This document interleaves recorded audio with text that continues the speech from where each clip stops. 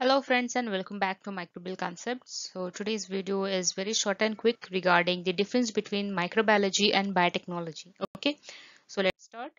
So both microbiology and biotechnology, they are two major disciplines of biological science with the diversified applications related to their domain. Okay, both of these fields, they have large application or, or very different different applications and they both are the major disciplines of biological sciences.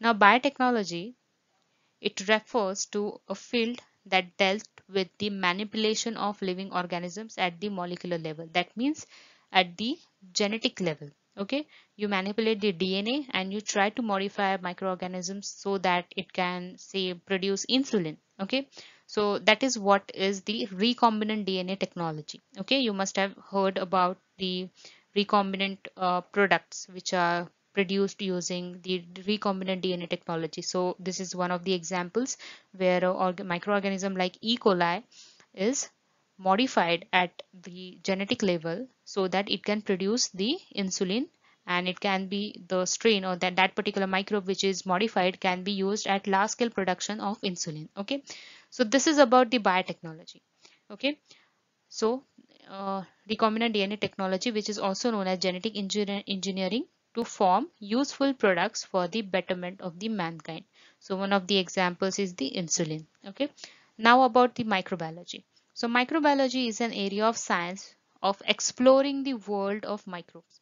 Now what you do in microbiology you study all the five kingdoms of um, five kingdom classification and you try to explore the uh, first three domains. That is uh, first three kingdoms. That is monera protista and fungi mainly in the microbiology. Okay?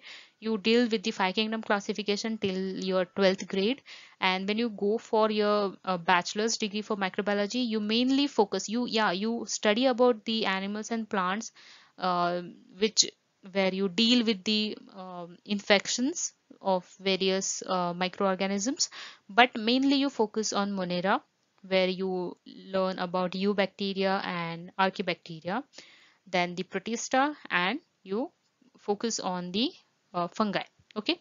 That's the exploring that's about the exploring the world of microbes okay? Then there are different types of microbes where you uh, also learn about the viruses prions virons okay? Uh, so that is also covered in the microbiology. After that after uh, this is about the basic of microbiology where you start learning exploring the bacteria fungi uh, viruses. After that you also learn about the genomics proteomics and their application in food pharmaceutical and biotech industries. Now what is genomics? Genomics is the study of genes okay like dna rna or a particular gene which codes for a protein. Then proteins the study of proteins is known as proteomics okay? So you try to apply the knowledge of the genomics and uh, or the uh, data that you have regarding genomics and proteomics in the application of food okay? Pharmaceuticals and biotech industries. That is about the microbiology.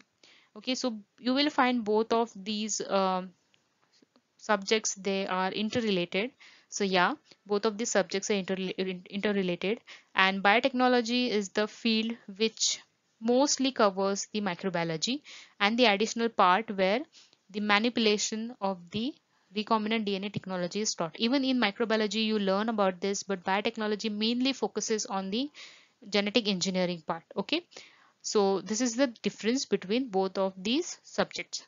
Now, in case uh, you want more example, then in the historical perspective of biological sciences, both biotechnology and microbiology, they developed in parallel.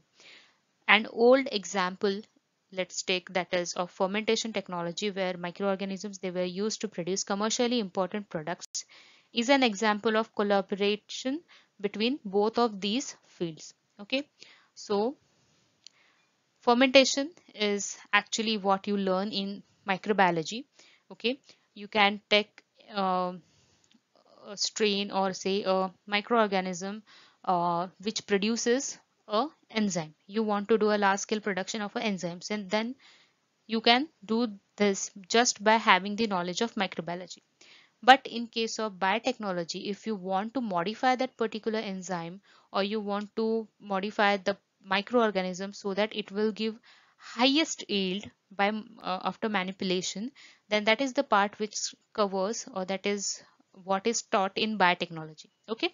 So both of them they have uh, similarities in uh, the syllabus or the knowledge is same and yes they uh, share mostly the microbiology part which is common in both of the uh, subjects. Okay?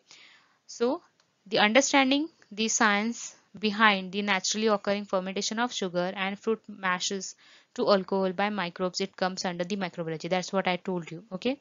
The manipulation to get the more yield is what comes in the biotechnology. That's the pure pure uh, difference okay? So i hope the difference between biotechnology and microbiology is clear to you all.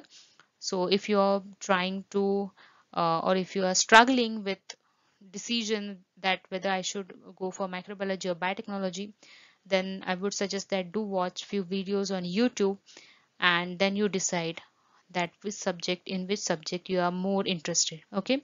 So i hope that this video is helpful to you all. So do like my videos do share my videos with your friends and do subscribe to my channel. Thank you